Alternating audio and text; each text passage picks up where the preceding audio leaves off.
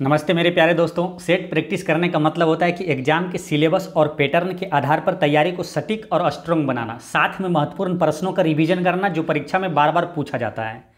चलिए दोस्तों, शुरू करना है एक जुनून के साथ। ना संघर्ष, ना तकलीफ़ तो खाक मज़ा है जीने में। बड़े बड़े तूफ़ान थम जाते हैं जब आग लगी हो सीने में। चलिए शुरू करते हैं। पहला क्वेश्चन है कि पढ़ना क्रिया का भेद है तो इसका करेक्ट आंसर है, स्वकर्मक। यानी पढ़ना जो क्रिया का भेद है, ये है कौन सा कर्मक है? स्वकर्मक भेद है। इसे समझेंगे कैसे? देखिए, स्वकर्मक क्रिया क्रिया कहलाता है कि वह क्रिया जिसमें कर्ता द्वारा किया गया कार्य किसी अन्य चीज़ को प्रभावित करता है तो वहाँ पर स्वकर्मक क्रिया होती है। जैसे पढ़ना एक क्रिया है, जिसका प्रभाव वाक्य पर पड़ेगा। पढ़ना एक क्रिया है, जिसका प्रभाव वाक्य पर पड़ेगा। वो स्वकर्मक क्रिया कहलाता है। तो इसका करेक्ट आंसर हो गया स्वकर्मक। नेक्स्ट क्वेश्चन है कि पयोधि समानार्थी शब्द है। तो इसका करेक्ट आंसर है ऑप्शन नंबर डी समुद्र का समानार्थी शब्द होता है पयोधि। समुद्र का और भी जैसे पर्यावाची शब्द है, जैसे सागर, जलधि, निर्निधि, ये सब समुद्र का पर्यावाची शब्द है। नेक्स्ट क्वेश्चन है कि अधिकरण कारक के चिन्ह हैं। इसका करेक्ट आंसर है में पर। ये क्या होता है देखिए कि जिस शब्द से क्रिया के आधार के होने का बोध हो तो वो अधिकरण कारक कहलाता है, क्रिया के आधार का। मतलब कि क्रिया का आधार है, जैसे कि में, पर, वो पढ़ने में तेज। है ठीक है, ये क्या क्रिया क्या है कि पढ़ने में? तो ये हो गया अधिकरण कारक के चिन्ह हो गया। में, पर, ये सब जो होता है ना, अधिकरण कारक के चिन्ह। नेक्स्ट क्वेश्चन है। कि वृद्धि का विलोम है, यानी कि एंटो। वृद्धि का क्या हो जाएगा? वृद्धि यानी कोई विकास कर रहा है तो इसका हो जाएगा, उसका नुकसान होना, यानी क्षय। इसका करेक्ट आंसर हो गया डी क्षय। नेक्स्ट क्वेश्चन है कि शैशव शब्द से बना संज्ञा शब्द है। इसका करेक्ट आंसर है, भाववाचक संज्ञा है। ठीक है? जैसे जो शब्द पदार्थ की अवस्था, गुण, दोष, धर्म या स्वभाव का बोध कराता है, वो भाववाचक संज्ञा कहलाता है। जैसे कि बुढ़ापा, ये क्या अवस्था बतला रहा है? मिठास, यानी उसकी क्वालिटी गुण बता रहा है, ठीक है? तो शिशु तो शैशव अवस्था, ये सब क्या शिशु होता है? शैशव अवस्था। तो वही क्या हो गया? भाववाचक संज्ञा हो गया। नेक्स्ट क्वेश्चन है कि संस्कृत के जो शब्द मूल रूप से हिंदी में प्रयोग किए जाते हैं, वे कहलाते हैं। तो इसका करेक्ट आंसर है, वो तत्सम कहलाता है। जैसे कि संस्कृत का कोई शब्द है, ठीक है? और हिंदी में भी हु बहु वही शब्द का बिना परिवर्तन के यूज़ किया जाता है, वो तत्सम कहलाता है, ठीक है? एक होता है तद्भव, ठीक है? तद्भव वो शब्द होता है जिसमें थोड़ा सा परिवर्तन करके हिंदी में प्रयोग किया जाता है, जैसे कि मुख, ठीक है? तो मुख को थोड़ा सा परिवर्तन करते हैं, मुँह, ग्राम ग्राम का करते हैं, गाँव तो ये हो गया तद्भव शब्द हो गया। नेक्स्ट क्वेश्चन है कि भर पेट किस समास का उदाहरण है? तो इसका करेक्ट आंसर है, ये अव्ययी समास है अव्ययी समास है, ठीक है? देखिए, जिस समास का पहला पद ओ, व्यय हो, और जिससे बना समस्त पद क्रिया विशेषण की तरह प्रयुक्त हो, उसे अव्ययी समास कहते हैं। जैसे प्रतिदिन, यथाशक्ति, प्रतिमास, ये सब क्या? भरपेट, ये सब हो गया अव्ययी भाव समास कहलाता है। नेक्स्ट क्वेश्चन है कि कवि का स्त्रीलिंग रूप है तो इसका करेक्ट आंसर है कवित्री ठीक है, इसका करेक्ट आंसर हो जाएगा कवित्री नेक्स्ट क्वेश्चन है कि हिंदी भाषा में कुल व्यंजन है। इसका करेक्ट आंसर है तैंतीस। थर्टी थ्री है, हिंदी भाषा में कुल व्यंजन कितना है? थर्टी थ्री नेक्स्ट क्वेश्चन है कि तो का उच्चारण होता है। इसका करेक्ट आंसर है दंत से होता है। ठीक है, जब उच्चारण करेंगे तो फिल करेंगे तो याद आसानी से हो जाएगा। तो देखिए तो एक होता है, आपको लगेगा तालु, लेकिन देखिए, ध्यान रखना है।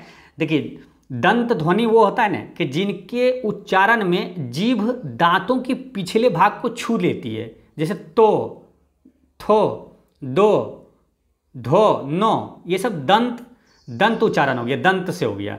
नेक्स्ट क्वेश्चन है। इंग्लिश का है कि fill in the blank with suitable gerund देखिए जिरंड इसमें बोल रहा फिल करने के लिए। जिरंड हमेशा ध्यान रखना है कि भारत का चौथा रूप होता है। इसका करेक्ट आंसर हो जाएगा drinking I am adverse to drinking next question है। Question number twelve. Fill in the blanks with the right homophone. तो यहाँ होमोफोन करने का मतलब है कि ऐसा शब्द है ना, जिनकी ध्वनि समान हो। यानी कि समान ध्वनि वाले, यानी साइनो एक तरह से हो गया। जैसे कि the days of the tickets are sharp. तो यहाँ क्या होगा? इसका करेक्ट आंसर है पाव होगा, पाउस। पाउस मतलब होता है पंजा। यानी कि the paws of the cats यानी बिल्ली का पंजा आर शार्प तेज होता है। तो इसका उप सुटेबल कौन सा हो गया? पाउज नेक्स्ट क्वेश्चन है कि find the suitable adjective of the given word affection affection जैसे नाउन है तो एफेक्शन के इसका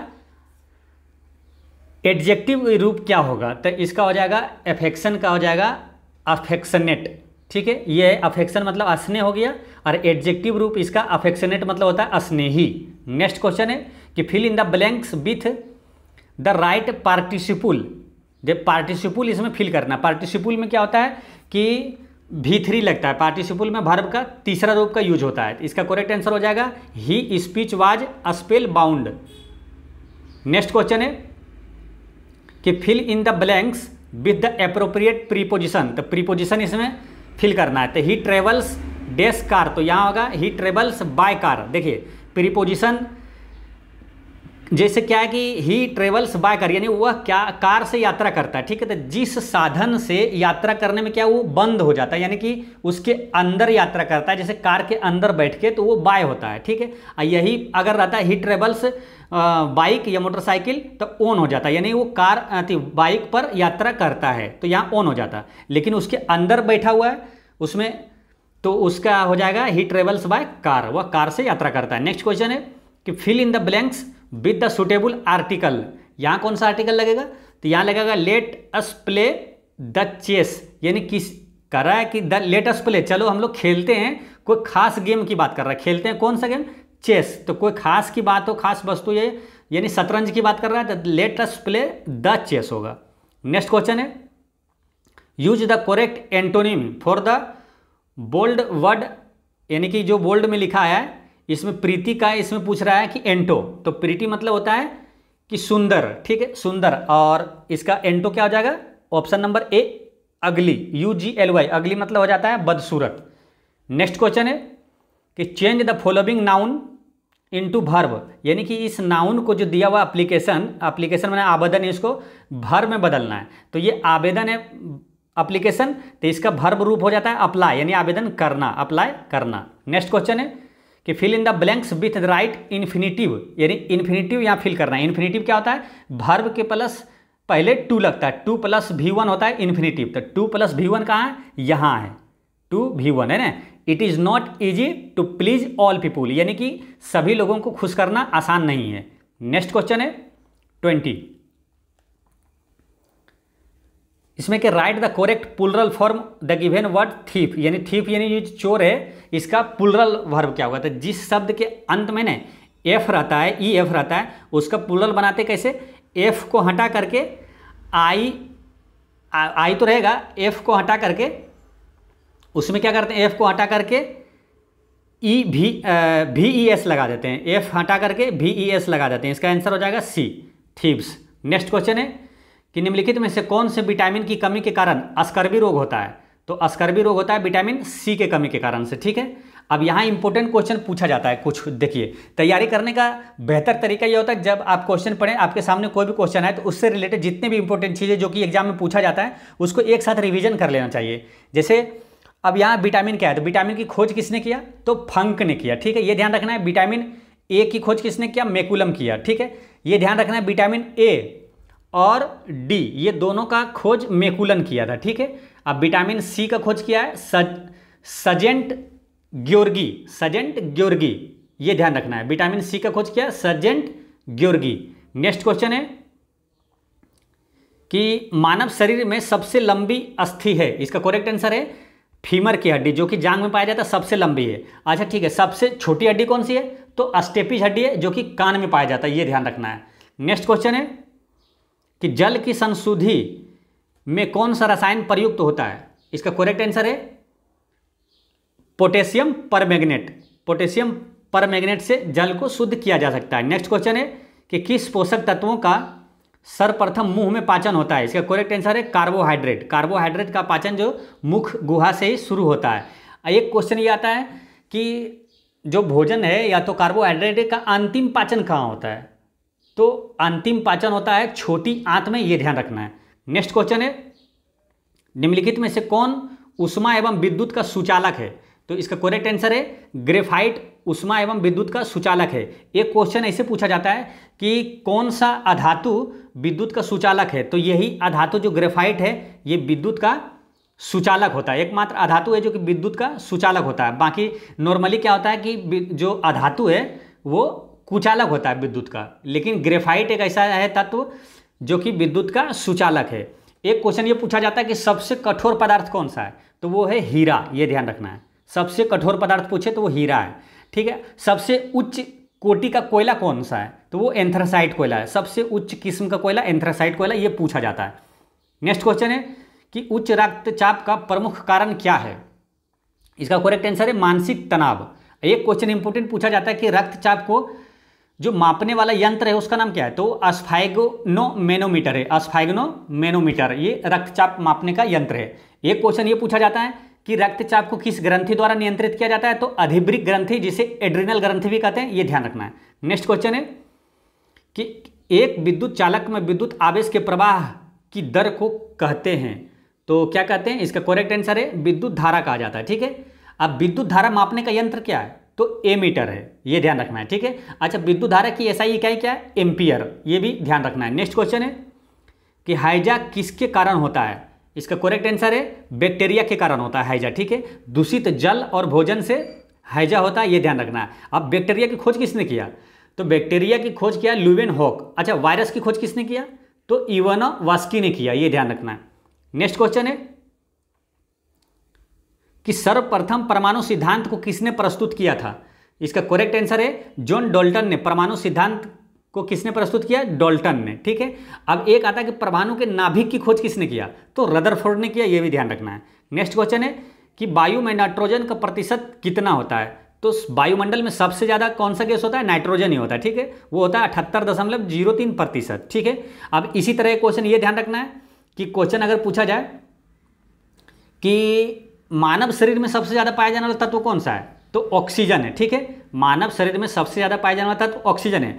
एक क्वेश्चन पूछा जाता है कि भू परपर्टी में, यानी कि भूपटल में, पृथ्वी के क्रस्ट में सबसे ज़्यादा पाया जाने वाला तत्व कौन सा है? तो वो भी ऑक्सीजन है। तो ध्यान ऐसे रखना है, मानव शरीर और भू परपर्टी में, दोनों में ऑक्सीजन सबसे ज़्यादा पाया जाता है। नेक्स्ट क्वेश्चन है कि ढोकला बनाने में प्रयुक्त विधि क्या है? तो इसका करेक्ट आंसर है, खमीरीकरण। खमीरीकरण, है ना? ढोकला बनाने में प्रयुक्त विधि खमीरीकरण। नेक्स्ट क्वेश्चन है थर्टी टू। दोस्तों, जो साइड से हम एक्स्ट्रा फैक्ट्स बताते हैं कि ये भी पूछा जाता है, इस पर काफ़ी इंपॉर्टेंट जो क्वेश्चन पूछा जाता है, वो इंपॉर्टेंट ही बताते हैं। अभी बिहार टीचर एग्ज़ाम में कई क्वेश्चन है, ऐसा कि जो साइड से एक्स्ट्रा इंपॉर्टेंट हम चीज़ बताए थे, उससे एग्ज़ाम में पूछा गया था क्वेश्चन ठीक है? वो सेट में नहीं था क्वेश्चन लेकिन हम एक्स्ट्रा जो साइड से बताए थे कि ये भी पूछा जाता है, उससे कई क्वेश्चन बिहार टीचर एग्ज़ाम में पूछा गया है। नेक्स्ट क्वेश्चन है कि टाइफाइड बुखार किसके द्वारा होता है? तो ये होता है जीवाणु के द्वारा, ठीक है? अब जीवाणु जब भी आए तो आपको तुरंत दिमाग में आ जाना चाहिए, बैक्टीरिया, ये बैक्टीरिया की खोज किसने किया? ल्यूवेन हॉक ने किया, ये ध्यान रखना। है नेक्स्ट क्वेश्चन है कि आधुनिक टीवी की स्क्रीन किससे बनी है? तो इसका करेक्ट आंसर है प्रकाश उत्सर्जन वाले डायोड से, ठीक है? आधुनिक टीवी की स्क्रीन किससे बनी है? प्रकाश उत्सर्जन वाले डायोड से। एक क्वेश्चन ये पूछा जाता है कि जो टीवी रिमोट कंट्रोल है, उसमें किस तरंग का प्रयोग होता है? तो उसमें अवरक्त तरंग का प्रयोग किया जाता है, ये ध्यान रखना है। नेक्स्ट क्वेश्चन है। विद्युत की प्रेस, हीटर, विद्युत केतली आदि किस तत्व से बनी होती है? इसका करेक्ट आंसर है नाइक्रोम से बना होता है, ठीक है? ये क्वेश्चन सिंपल आता है कि हीटर का जो तार होता है, वो किसका बना होता है? तो नाइक्रोम का बना होता है, ये ध्यान रखना है। नेक्स्ट क्वेश्चन है। कि ब्रूसेलोसिस नामक बीमारी का कारक क्या है? तो इसका करेक्ट आंसर है जीवाणु। जीवाणु जब भी आए, तुरंत दिमाग में आ जाते हैं, जीवाणु खोज किसने किया? ल्यूवेन हॉक ने। नेक्स्ट क्वेश्चन है। निम्नलिखित में से कौन सा विषाणु अति संक्रमक रोग चेचक के लिए जिम्मेदार समझा गया था? तो इसका करेक्ट आंसर है, ये वेरिसेला विषाणु। वेरिसेला विषाणु। अच्छा विषाणु की खोज किसने किया? इवानो वास्की ठीक है, अब यहाँ आया चेचक। ठीक है, चेचक का टीके की खोज किसने किया? एडवर्ड जेनर ने किया था। नेक्स्ट क्वेश्चन है। निम्नलिखित में से दिल्ली के किस सुल्तान ने ब्राह्मणों पर पहली बार जजिया कर लगाया था? इसका करेक्ट आंसर है, फिरोज शाह तुगलक ने लगाया था। ब्राह्मणों पर सबसे पहले जजिया कर किसने लगाया? फिरोज शाह तुगलक ने, ठीक है? अच्छा तुगलक वंश का संस्थापक कौन है? तो गयासुद्दीन तुगलक है। नेक्स्ट क्वेश्चन है कि निम्नलिखित में से कौन सा वक्र कर की दरों तथा सरकारी राजस्व के बीच संबंध को दर्शाता है? इसका करेक्ट आंसर है लोफर वक्र। ठीक है? ध्यान रखना है कि कर की दरों तथा सरकारी राजस्व के बीच संबंध को दर्शाता है लोफर वक्र। नेक्स्ट क्वेश्चन है कि डोडा बेटा चोटी निम्नलिखित में से कौन सी पहाड़ी श्रृंखला पर स्थित है? तो इसका करेक्ट आंसर है नीलगिरी की पहाड़ी। ठीक है? दो, इसको डोडा बेटा या तो दोदा बेटा भी कभी देगा ऑप्शन में। ठीक है? एक क्वेश्चन अगर ये पूछा जाए ना कि नीलगिरी, पहाड़ी की सबसे ऊँची चोटी कौन सी है तो ये दोदा बेटा ही है, ये ध्यान रखना है। नेक्स्ट क्वेश्चन है कि भारत का राष्ट्रपति अपना त्याग पत्र किसे सौंपता है? तो उपराष्ट्रपति को सौंपता है, ठीक है? और उपराष्ट्रपति अपना त्याग पत्र किसे सौंपता है? तो राष्ट्रपति को सौंपता है, ठीक है? ये ध्यान रखना है। और एक क्वेश्चन ये पूछा जाता है इंपॉर्टेंट क्वेश्चन है कि राष्ट्रपति पर महाभियोग किस अनुच्छेद के तहत लगाया जाता है? तो अनुच्छेद इकसठ के तहत। नेक्स्ट क्वेश्चन है कि बक्सर का युद्ध किसके किसके बीच हुआ? तो इसका करेक्ट आंसर है मीर कासिम और अंग्रेज़ के बीच हुआ था, ठीक है? बक्सर का युद्ध। अब बक्सर का युद्ध हुआ था कब? सत्रह में हुआ था, ठीक है? एक क्वेश्चन बिहार की दृष्टि से ये है कि मीर कासिम यहाँ आया ना? एक क्वेश्चन ये पूछा जाता है कि मुंगेर को राजधानी किसने बनाया? तो मीर कासिम ने बनाया था, ये ध्यान रखना है। नेक्स्ट क्वेश्चन है कि बिंबिसार किस वंश का राजा था? तो ये हरियक वंश के संस्थापक था, ठीक है? बिंबी, बिंबिसार हाँ हरियक वंश का संस्थापक था, ठीक है? अब एक क्वेश्चन ये पूछा जाता है कि किस वंश को पितृहंता वंश कहा जाता है? तो हरियक वंश को पितृहंता वंश कहा जाता है। क्यों मालूम? इसमें क्या है? बिंबिसार का एक पुत्र था अजात शत्रु। तो अजात शत्रु ने अपने पिता बिंबिसार की हत्या कर दिया था। और अजात शत्रु के पुत्र उदाइन ने अजात शत्रु की हत्या कर दिया था। ठीक है? इसीलिए इसे पितृहंता वंश कहा जाता है। अब ये उदाइन जो है उदाइन से एक क्वेश्चन ये आता है कि पाटलिपुत्र के संस्थापक कौन है तो उदाइन है ये ध्यान रखना है। नेक्स्ट क्वेश्चन है फोर्टी थ्री फोर्टी थ्री में यह है कि राजा भोज निम्नलिखित में से किस वंश से संबंधित था? तो ये परमार वंश का शासक था, राजा भोज, ठीक है? परमार वंश की राजधानी पूछे कहाँ है? तो धार है, ठीक है? परमार वंश की राजधानी धार है, राजा भोज की राजधानी धार थी, और इसका प्रथम राजधानी उज्जैन था। नेक्स्ट क्वेश्चन है कि पृथ्वी का एकमात्र प्राकृतिक उपग्रह है तो कौन है? चंद्रमा। एकमात्र उपग्रह है चंद्रमा। अब करंट अफेयर में ये पूछा जाएगा आपसे कि चंद्रयान थ्री कब लॉन्च किया गया? तो चौदह जुलाई 2023 को। ठीक है? चौदह जुलाई 2023 को चंद्रयान लॉन्च किया गया। लेकिन ये चंद्र, चंद्रयान थ्री जो है, ये चंद्रमा पर लैंड कब किया? तो तेईस अगस्त, ये ध्यान रखना है, तेईस अगस्त 2023 को। नेक्स्ट क्वेश्चन है। कि निम्नलिखित में से किस सिख गुरु ने गुरुमुखी लिपि की शुरुआत की? तो इसका करेक्ट आंसर है, गुरु अंगद देव ने किया था गुरुमुखी लिपि की शुरुआत, ठीक है? अब सिख गुरु के संस्थापक कौन है? गुरु नानक देव है, ठीक है? एक इंपॉर्टेंट क्वेश्चन ये अपने दृष्टि से है कि सिखों के दसवें गुरु कौन थे? तो गुरु गोविंद सिंह थे। क्यों ये इंपॉर्टेंट है? कि गुरु गोविंद सिंह का जन्म कहाँ हुआ था? तो पटना साहिब, यानी पटना सिटी में हुआ था। नेक्स्ट क्वेश्चन है 2011 के जनगणना के अनुसार भारत में निम्नलिखित में से किस राज्य में लिंगानुपात सर्वाधिक रहा है? तो इसका करेक्ट आंसर है, देखिए, लिंगानुपात जो है ना, सर्वाधिक तो सबसे ज़्यादा केरल में है, लेकिन ऑप्शन के हिसाब से इसका आंसर होगा तमिलनाडु, क्योंकि केरल के बाद तमिलनाडु ही है। सबसे ज़्यादा लिंगानुपात अगर पूछ दे तो केरल अगर ऑप्शन में तो केरल आंसर होगा, वहाँ का लिंगानुपात दस है, ठीक है? प्रति फीमेल एक हज़ार, ठीक है? प्रति मेल, या मेल दस सौ चौरासी, एक हज़ार फीमेल पे। और तमिलनाडु का है नौ सौ छियानवे। ये ध्यान रखना है, ठीक है? और केरल सबसे लिंगानुपात में सर्वाधिक है और सबसे साक्षर राज्य भी केरल है। नेक्स्ट क्वेश्चन है। भारत का विशालतम क्षेत्रफल वाला राज्य, यानी क्षेत्रफल की दृष्टि से सबसे बड़ा राज्य कौन सा है?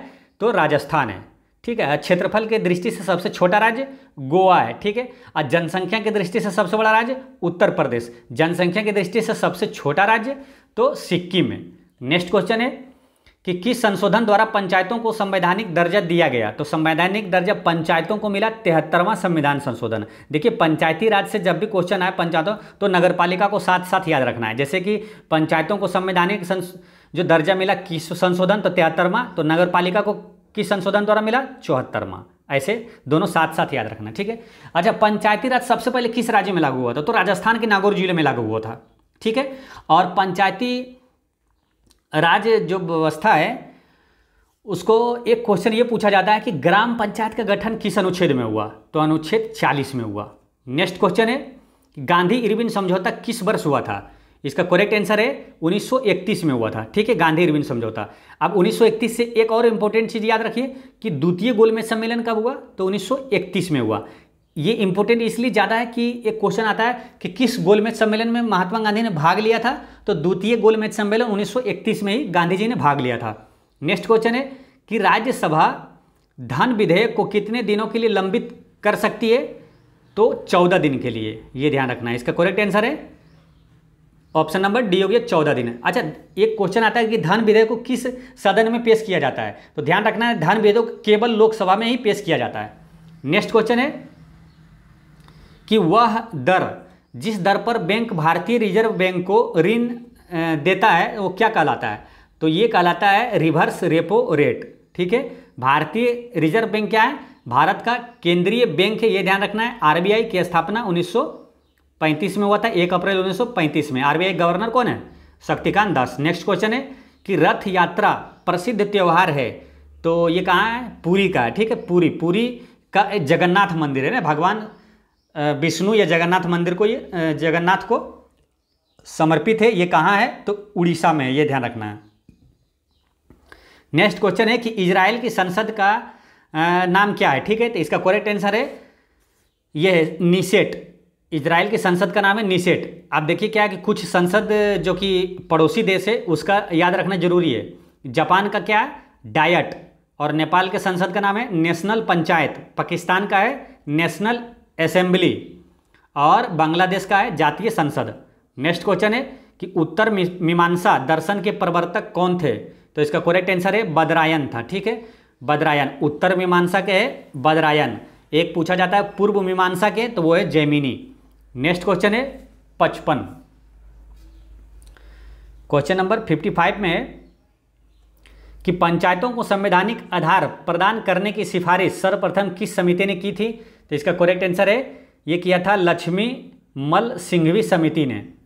लक्ष्मी मल सिंघवी समिति ने। अच्छा ये बलवंत राय मेहता, मालूम ये इंपॉर्टेंट है ये। इससे ज़्यादा इंपॉर्टेंट बलवंत राय मेहता है। कि अगर पूछें कि त्रिस्तरीय पंचायत का सुझाव किसने दिया तो बलवंत राय मेहता ने दिया। और द्विस्तरीय पंचायत का सुझाव किसने दिया तो अशोक मेहता ने दिया। इसे याद कैसे रखना है? देखिए, त्रिस्तरीय में तीन शब्द आएगा। बलवंत राय मेहता दो स्तरीय में दो शब्द है, अशोक मेहता। ऐसे रिलेट कर लेना। त्रिस्तरीय वाला पूछा तो तीन शब्द वाला बोल देना। बलवंत राय मेहता। दो स्तरीय का चुनाव, सुझाव किसने दिया तो दो शब्द वाला अशोक मेहता। नेक्स्ट क्वेश्चन है कि भारत का सबसे दक्षिणतम बिंदु इंदिरा पॉइंट की दूरी भूमध्य रेखा से कितनी है? इसका करेक्ट आंसर है, आठ सौ छिहत्तर किलोमीटर है। एक क्वेश्चन इंपॉर्टेंट यही है सिंपल में कि भारत का सबसे दक्षिणतम बिंदु कौन सा है? तो इंदिरा पॉइंट है, ये ध्यान रखना है। ये पूछा जाता है, और भारत का उत्तरी बिंदु कौन सा है? तो वो इंदिरा कोल है, जम्मू कश्मीर में। नेक्स्ट क्वेश्चन है, भारतीय थल सेना के पूर्वी कमांड का मुख्यालय कहाँ स्थित है? इसका करेक्ट आंसर है ऑप्शन नंबर सी कोलकाता में है। ठीक है? दोस्तों, जो लास्ट में मैथ और रीजनिंग है, उसका भी सोल्यूशन हम लोग करेंगे। और यहाँ एक क्वेश्चन ये पूछा जाता है कि भारतीय थल सेना जो दिवस कब मनाया जाता है? तो पंद्रह जनवरी को ये ध्यान रखना है। नेक्स्ट क्वेश्चन है कि प्रसिद्ध यात्री निकोलो कॉन्टी किसके शासनकाल में विजयनगर की यात्रा किया था? तो ये किए थे देवराय प्रथम के समय ये यात्रा किए थे। तो ऑप्शन में है नहीं, इसका करेक्ट आंसर हो जाएगा। उपरयुक्त में से कोई नहीं। देवराय प्रथम के समय आया था निकोलो कांटी। ठीक है, एक क्वेश्चन इंपोर्टेंट आता है नहीं? कि निकोलो कांटी किस देश का यात्री था? तो इटली का था। इसे याद रखना है, Niccolo Conti Italy Conti Italy, ऐसे याद कर लेना, ठीक है? और एक क्वेश्चन ये पूछा जाता है कि ये जो विजयनगर है, विजयनगर साम्राज्य के संस्थापकों ने तो हरिहर एवं बुक्का तेरह में किया था, इसे याद रखना है। नेक्स्ट क्वेश्चन है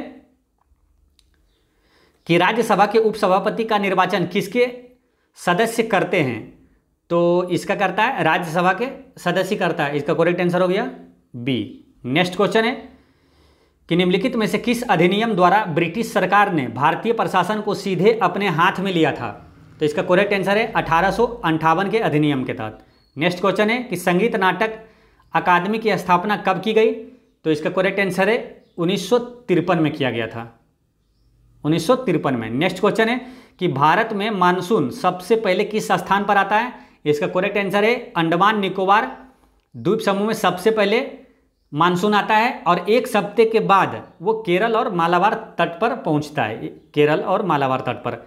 नेक्स्ट क्वेश्चन है कि निम्नलिखित में से कौन रिज़र्व बैंक का कार्य नहीं है? तो इसका करेक्ट आंसर है, व्यापार नीति का निर्धारण ये रिज़र्व बैंक आरबीआई का कार्य नहीं है। बाकी ये तीनों आरबीआई का कार्य है। आरबीआई की स्थापना एक अप्रैल 1935 में हुआ था। आरबीआई के गवर्नर कौन है? शक्तिकांत दास। नेक्स्ट क्वेश्चन है, भारत में संविधान के किस अनुच्छेद में वित्तीय आपातकाल को रखा गया है? तो इसका करेक्ट आंसर है 360 अनुच्छेद 360 में वित्तीय आपातकाल है, ठीक है? देखिए, महत्वपूर्ण तीन अनुच्छेद जो कि वित्तीय मतलब कि आपातकाल से संबंधित है और वो पूछा जाता है। जैसे राष्ट्रीय आपातकाल किस अनुच्छेद में? तो अनुच्छेद तीन सौ बावन में। राष्ट्रपति शासन किस अनुच्छेद में? तो तीन सौ छप्पन में, ठीक है? एक क्वेश्चन ये आता है कि अब तक कौन सा आपात भारत में नहीं लगा है? तो ये वित्तीय आपात अब तक एक बार भी नहीं लगा। बाकी ये तीन सौ बावन, ये तीन बार लग चुका है और ये तो कई बार लगा है। इससे ध्यान रखना है, राष्ट्रपति शासन के बिहार में कितनी बार लगा अब तक? तो आठ बार राष्ट्रपति शासन बिहार में अब तक लगा है। नेक्स्ट क्वेश्चन है, पैंसठ। कि संसद के अंतर्गत शामिल होते हैं तो इसका करेक्ट आंसर है राष्ट्रपति और राज्यसभा और लोकसभा, ये तीनों शामिल होता है तो उपयुक्त में से एक से अधिक। अच्छा यहाँ एक इंपॉर्टेंट क्वेश्चन ये पूछा जाता है कि संसद किस अनुच्छेद में है? मालूम है? तो देखिए, बताते हैं। संसद जो है, वो अनुच्छेद संसद, अनुच्छेद उन्यासी में ठीक है? और राज्यसभा किस अनुच्छेद में तो 80 में अनुच्छेद 80 में लोकसभा किस अनुच्छेद में तो अनुच्छेद इक्यासी में है। देखिए, इसे याद कैसे रखना है? देखिए, आसान तरीके से याद ऐसे रखना है। देखिए, ये लगातार है ना उनासी अस्सी, इक्यासी, इसको सिंपल में बोलना है ऐसे, सरल, है ना? सो, रो, लो, सरल। सरल में आ गया तीनों, संसद, राज्यसभा और लोकसभा। सरल, उनासी, अस्सी, इक्यासी। नेक्स्ट क्वेश्चन है कि निम्नलिखित में से कौन सही सुमेलित नहीं है?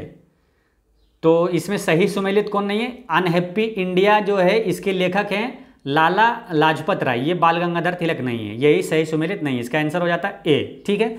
अब देखिए अनहैप्पी इंडिया के लेखक जो हैं, वो लाला लाजपत राय है। ये याद कैसे रहे ताकि कभी कन्फ्यूज़न ना हो? तो देखिए जब साइमन कमीशन भारत आया था 1928 में तो लाला, लाजपत राय ने ही उसका नेतृत्व किया था, उसका विरोध का, ठीक है? विरोध किए थे तो उनको क्या लाठी खाने से, उनकी चोट होने से उनकी मृत्यु हो गई थी। तो जब लाठी खाए थे तो वो क्या हुआ?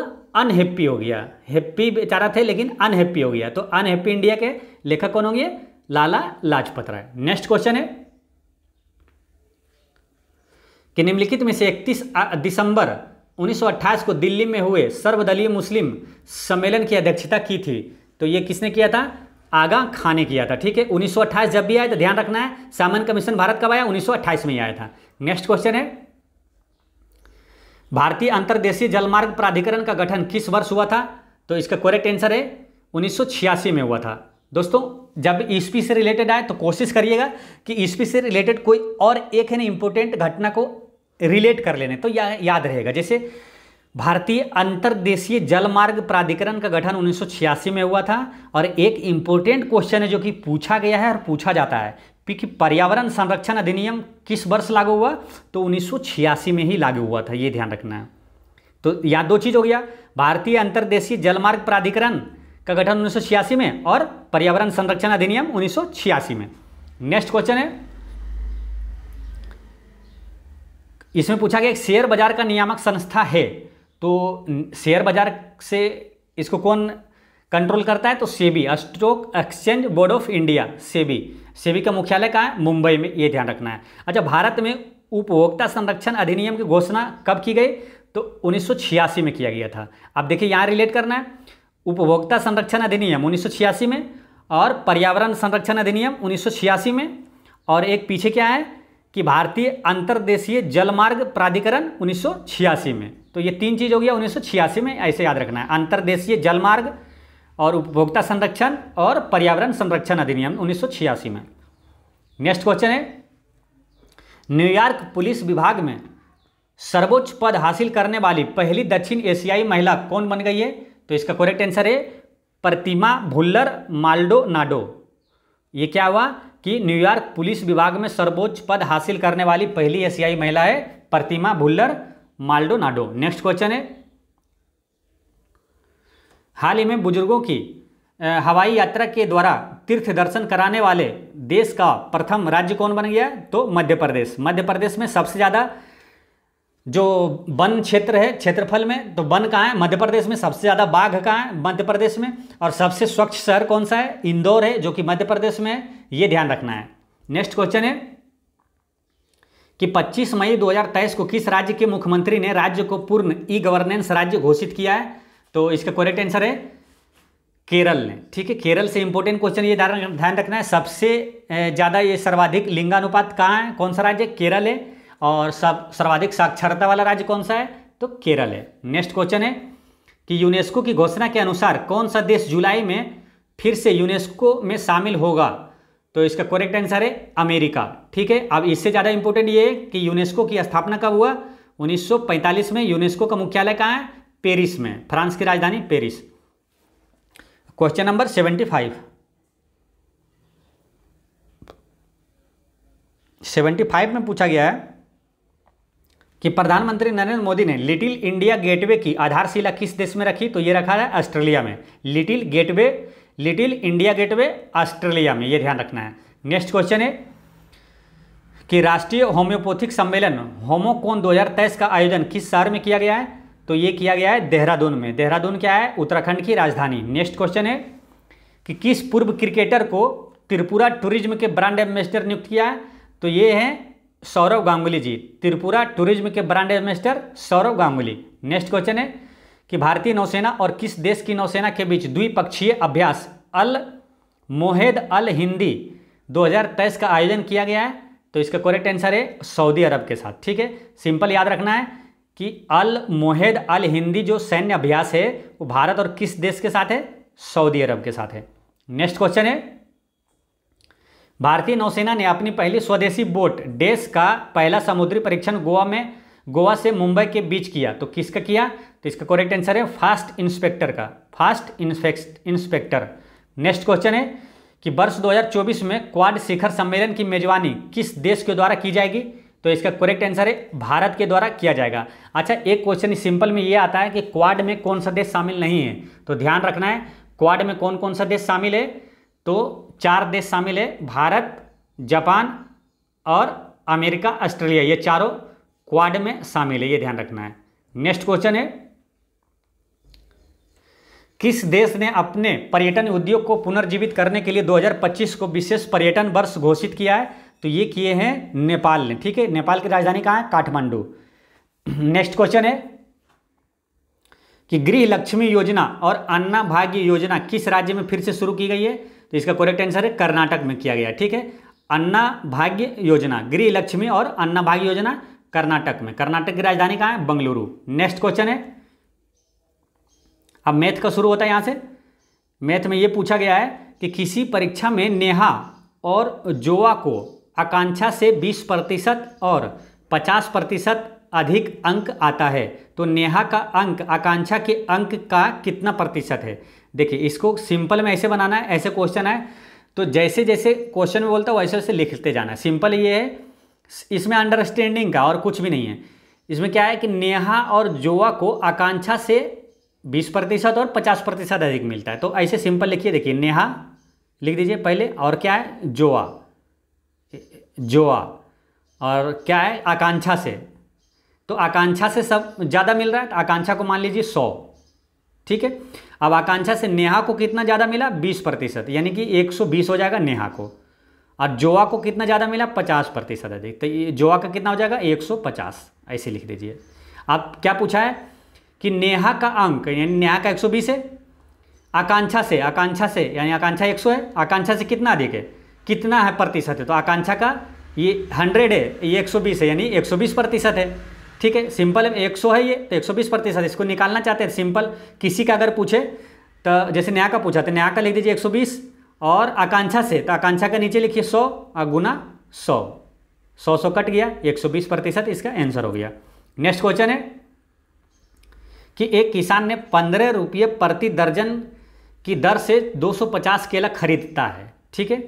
और यदि वह सभी केले को एक रुपये प्रति केला की दर से बेच देता है तो उसका हानि क्या होगा?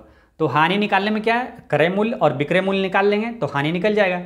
तो देखिए, विक्रय मूल्य पहले क्या हो जाएगा? देखिए 250 केला है और एक रुपये प्रति केला करके जैसा बेचा तो विक्रय मूल्य कितना हो गया? दो रुपया। प्रति केला का दाम एक रुपया है तो विक्रय मूल्य हो गया एस पी दो सौ पचास रुपया।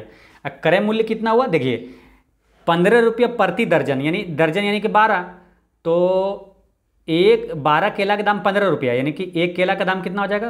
पंद्रह बटे बारह, ठीक है?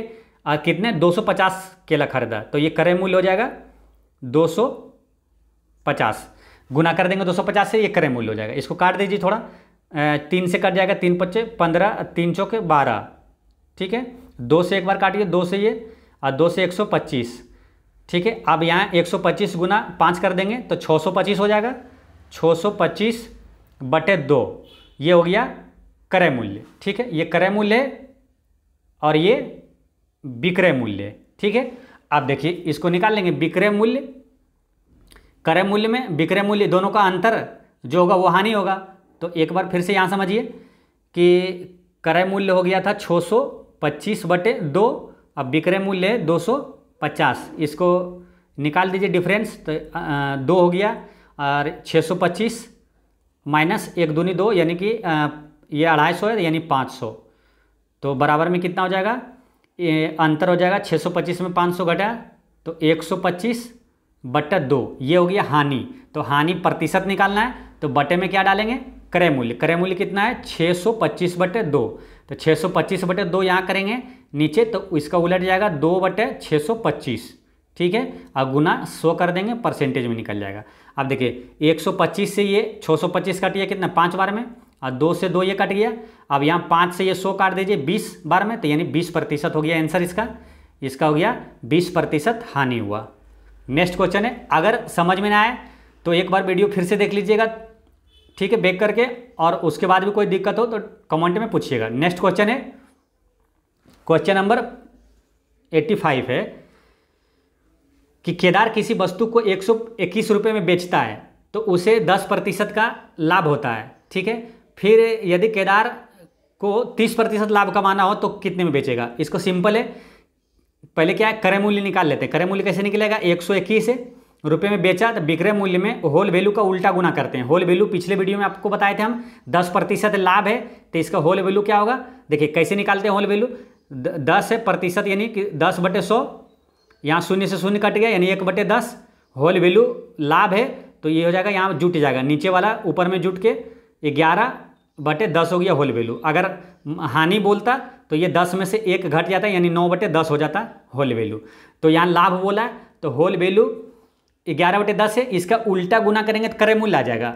अगर क्रय मूल्य दिया हुआ है, उसको सीधा गुना करेंगे तो विक्रय मूल्य आ जाता है।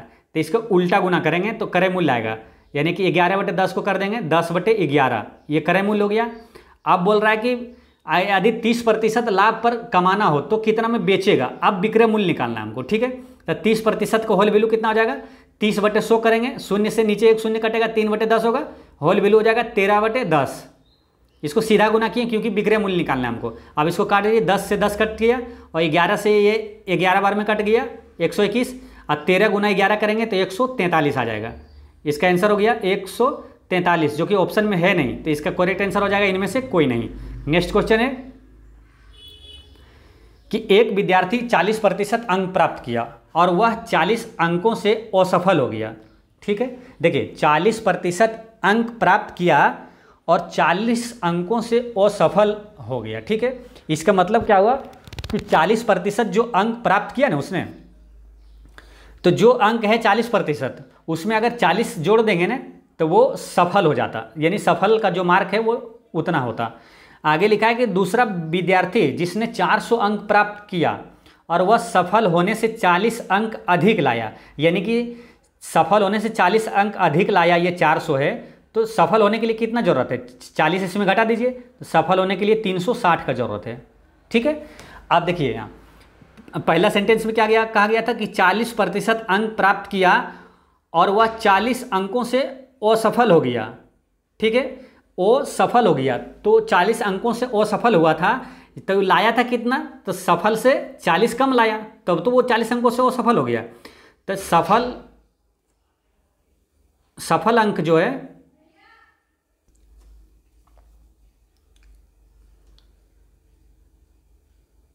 तो सेकंड वाले में कहा गया है कि 400 अंक प्राप्त किया और क्या कि असफल, सफल होने से 40 अंक अधिक पाया। ठीक है 40 अंक अधिक पाया।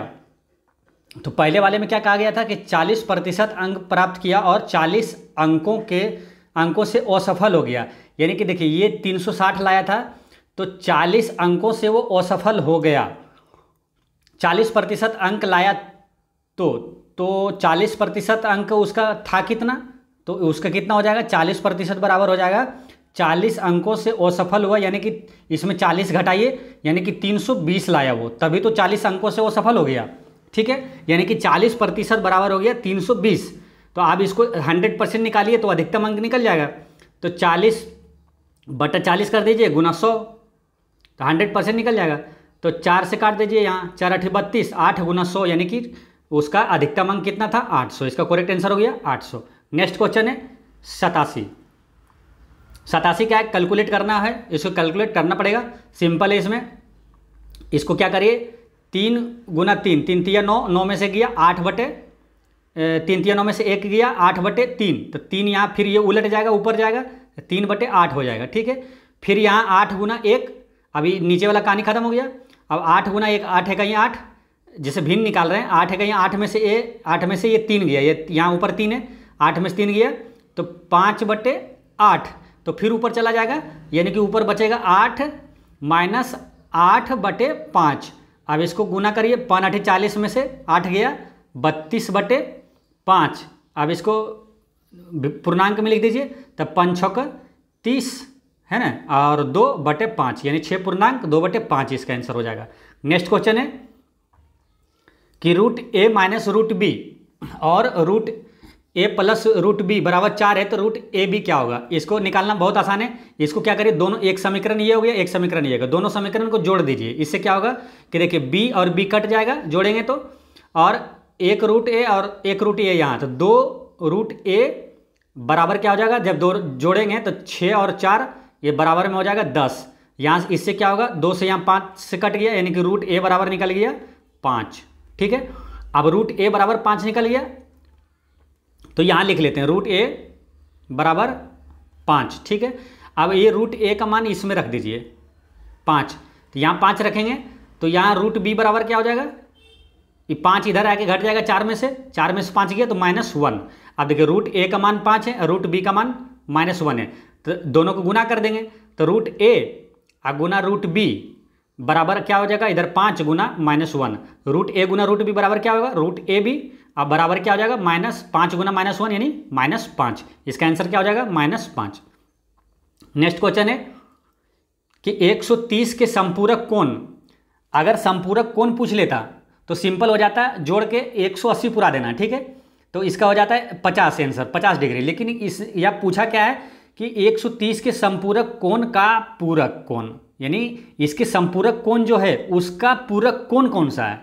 तो संपूरक कोण का योग होता है, देखिए 180 और पूरक कोण का योग होता है 90 ये याद रखना है तो हिसाब जो भी पूछेगा बन जाएगा।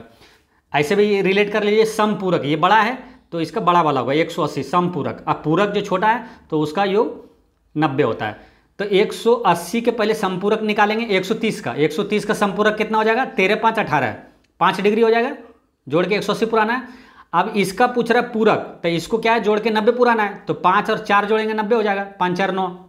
तो ये इसका आंसर हो जाएगा सी। नेक्स्ट क्वेश्चन है कि 25 पलंग का क्रय मूल्य, सिंपल में लिखते जाइए 25 पलंग का क्रय मूल्य सीपी बराबर कितना है? पंद्रह पलंग का विक्रय मूल्य के बराबर है, पंद्रह पलंग का एसपी के बराबर है, ठीक है? अब सिंपल में निकाल दीजिए एसपी इसको सीपी इधर कर दीजिए तो क्या हो जाएगा? एसपी बटा ये बटन चला जाएगा सीपी बराबर क्या हो जाएगा? ये पंद्रह इधर आ जाएगा, यानी कि पच्चीस बटे पंद्रह। अब यहाँ देखिए, विक्रय मूल्य हो गया पच्चीस, क्रय मूल्य हो गया पंद्रह। तो विक्रय मूल्य कितना, क्रय मूल्य से कितना अधिक है? दस। ठीक है? क्रय मूल्य कितना है? बच पंद्रह। तो इसमें क्या प्रतिशत निकालना है? गुना सौ कर दीजिए। तो देखिए, पाँच दूनी, दस, पाँच तिया, पंद्रह। यहाँ क्या जाएगा? दो और गुना एक सौ, दो सौ दो सौ और बटा में तीन। दो सौ बटे तीन कितना हो जाता है? छियासठ पूर्णांक दो बटे तीन प्रतिशत। इसका आंसर हो गया। नेक्स्ट क्वेश्चन है कि जडेजा ने पंद्रह पारियों में पैंतालीस रन के औसत से रन बनाए, ठीक है? छब्बीसवीं पारी में उसने शतक बनाया तो उसका औसत रन क्या होगा? इसमें यहाँ एक एरर है, यहाँ छब्बीस में नहीं, यहाँ सोलहवें पारी होगा, ठीक है? यहाँ सोलहवीं पारी में उसने शतक बनाया। तो अब इसको क्या करते हैं? सिंपल में जो पंद्रह पारी में जो रन बनाया तो कुल रन कितना हुआ, उसको निकालते हैं पहले। तो पंद्रह और गुना पैंतालीस करेंगे, ठीक है? पंद्रह गुना पैंतालीस करेंगे जब, ये कुल रन पहले निकल जाएगा पंद्रह पारियों का, कुल रन निकल जाएगा छः सौ पचहत्तर। ठीक है? फिर सोलहवीं पारी में उसने एक सौ रन बनाया तो यहाँ सौ रन जोड़ दीजिए तो सोलह पारी में टोटल कितना हो गया? छः सौ और एक सौ सात सौ पचहत्तर। ठीक है? अब सात सौ पचहत्तर हो गया। अब बोल रहा है औसत कितना होगा? औसत रन। तो सोलह से भागा दे दीजिए टोटल सोलह पारी है। सोलह से जब भागा देंगे सात सौ पचहत्तर में तो अड़तालीस पूर्णा अड़तालीस पॉइंट चार तीन रन हो जाएगा आंसर नेक्स्ट क्वेश्चन है कि किसी वर्ग के क्षेत्रफल में प्रतिशत परिवर्तन उनहत्तर प्रतिशत है तो वर्ग के विकर्ण में प्रतिशत परिवर्तन क्या होगा? तो वर्ग के विकर्ण में क्या होगा? तो इसका आंसर हो जाएगा, देखिए, इसको बनाने के लिए तो लेंदी प्रोसेस हो जाएगा, ठीक है? देखिए, क्षेत्रफल में जो होता है ना, क्षेत्रफल क्या हुआ? भुजा स्क्वायर होता है, यानी कि ए इंटू ए ठीक है? अब वर्ग का विकर्ण क्या होगा रूट टू इंटू एक भुजा, इसमें एक ही भुजा आता है, ठीक है? एक भुजा। तो यानी कि भुजा हमको निकालना मेन ठीक है? वो परिवर्तन पता चल जाएगा। तो इसको बनाने के लिए काफ़ी लेंदी है, लेकिन ए भी फार्मूला से हम बनाएँगे। देखिए, क्षेत्रफल में कोई परिवर्तन हो, जैसे अगर दे दिया कि भुजा तीन है, ठीक है? तीन प्रतिशत भुजा में अगर वृद्धि होती है तो उसका क्षेत्रफल में कितना वृद्धि होगा? तो ए बी फार्मूला से निकालते हैं, ठीक है? ए ए बी फार्मूला होता क्या था? A plus B plus A B बटा सौ, ठीक है? तो ये क्षेत्रफल में परिवर्तन हुआ तो इसका भुजा क्या होगा? तो इस भुजा में परिवर्तन वर्ग के क्षेत्रफल में प्रतिशत परिवर्तन इतना हुआ, यानी भुजा में कितना परिवर्तन हुआ? तो इसको सिंपल में निकाल दीजिए ऑप्शन से करिए, देखिए, तीस हुआ होगा अगर तीस प्लस तीस, कोई भी ऑप्शन चेक करिएगा तो देखिए तीस वाले में दिख रहा है सिंपल तीस तीस, साठ और तीस गुना तीस, ए बी यानी बटा सौ करेंगे। तो देखिए उनहत्तर प्रतिशत रन, शून्य से शून्य कट गया, तीस तीस, साठ और नौ, उनहत्तर, यानी कि इसका था भुजा कितना है? तीस प्रतिशत तीस प्रतिशत, यानी वर्ग के विकर्ण में जो परिवर्तन होगा, वो तीस प्रतिशत होगा। नेक्स्ट क्वेश्चन है नाइन्टी थ्री नाइन्टी थ्री में है कि एक इक्कीस साठ रुपये, यानी दो हज़ार एक सौ साठ रुपये को ए बी सी के बीच है ना, क्रमशः इतना के अनुपात में विभाजित किया गया है। सिंपल है, अनुपात वाला जब भी आए, तीनों को जोड़ के पहले अनुपात एक का मान निकाल देते हैं। देखिए, ये अनुपात पाँच, तीन, आठ, दो, दस, यानी कि अनुपात दस बराबर दिया हुआ है, कितना? इक्कीस सौ साठ रुपया। तो अनुपात एक का मान कितना हो जाएगा? शून्य से यहाँ शून्य कट गया, अनुपात एक का मान हो गया दो सौ सोलह रुपया। आप जो भी पूछेगा बता देंगे। आप पूछ रहा है कि ए और बी के हिस्से में क्या अंतर है? तो ए कितना है? दो और बी कितना है? तीन। दोनों में अंतर कितना है? अनुपात एक। तो अनुपात एक बराबर कितना है? ये दो सौ सोलह रुपया। आंसर हो गया दो सौ सोलह। नेक्स्ट क्वेश्चन है नाइन्टी फोर इसमें क्या है? एक्स बराबर ये दिया है वाई बराबर जेड बराबर और इतना बराबर क्या होगा? ये सूत्र से निकलना, निकलेगा। सूत्र याद रखना है, जैसे कि ये सूत्र जो होता है ना X square X cube plus Y cube plus Z cube minus three X Y Z, ये बराबर होता है इतना बराबर होता है सूत्र हाफ़, याद रखिएगा, half into X plus Y plus Z into into में हो जाएगा एक्स माइनस वाई के होल स्क्वायर फिर हो जाएगा वाई माइनस जेड का होल स्क्वायर फिर प्लस हो जाएगा जेड माइनस एक्स का होल स्क्वायर ठीक है सिंपल देखिए। सिंपल है half into X plus Y plus Z और ये एक्स माइनस वाई का whole square Y minus Z का होल स्क्वायर फिर जेड माइनस एक्स के होल स्क्वायर इस तरह से लिखेंगे। इस सूत्र से निकल जाएगा। अब देखिए कैसे वन आती हाफ़ इंटू ये तीनों को जोड़ेंगे। X plus Y plus Z सूत्र जो होता है वो तेरह सौ बेरासी आएगा। ठीक है, तीनों को जोड़ेंगे।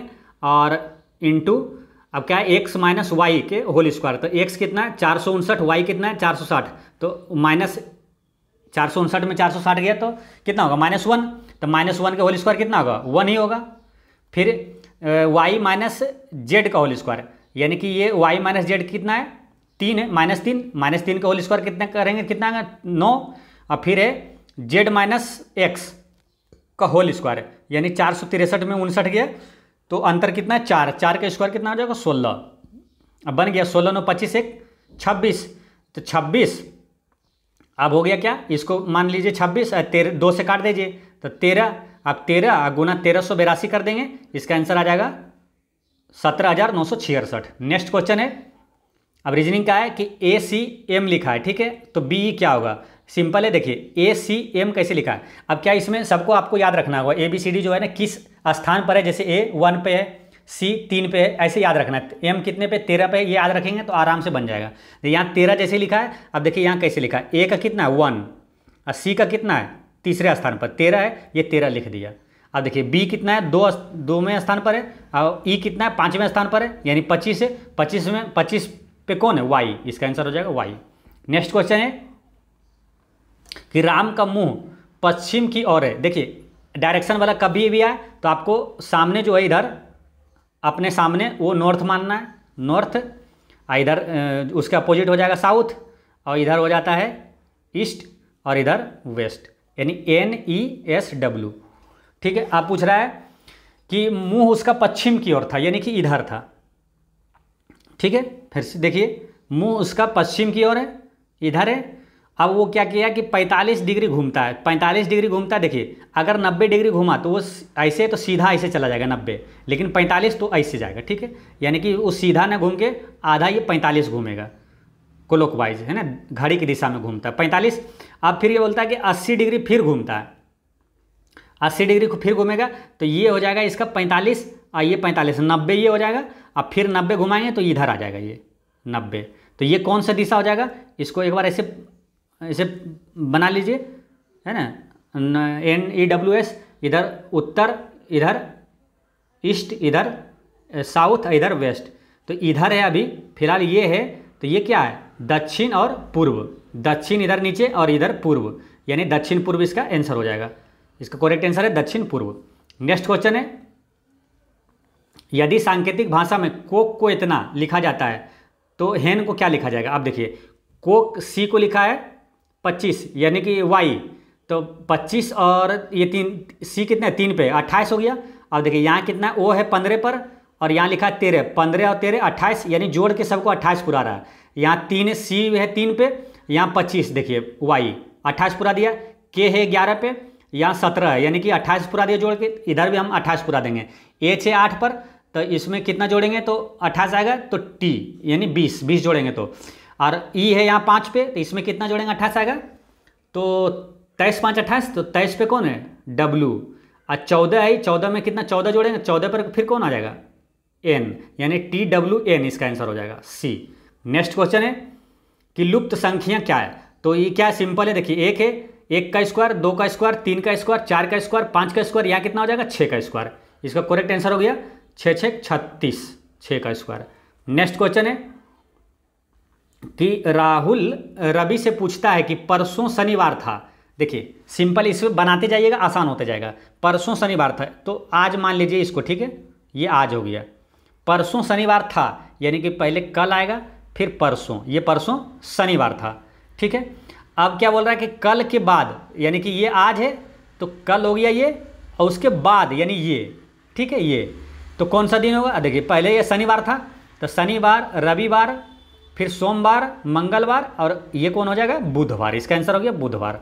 नेक्स्ट क्वेश्चन है कि कौन सी आकृति क्या कौन सी आकृति दिए गए वर्गों को बेहतर ढंग से प्रदर्शित करता है? तो शुतुरमुर्ग, सांप और मेढक, ये तीनों किसी तरह से मिलता जुलता नहीं है, तीनों अलग अलग है पूरी तरह से। इसका आंसर हो जाएगा बी शुतुरमुर्ग, सांप और मेढक। ठीक है? दोस्तों, इस तरह सटीक हंड्रेड एम होता है समाप्त। और कोई भी डाउट हो तो कमेंट में पूछिएगा और वीडियो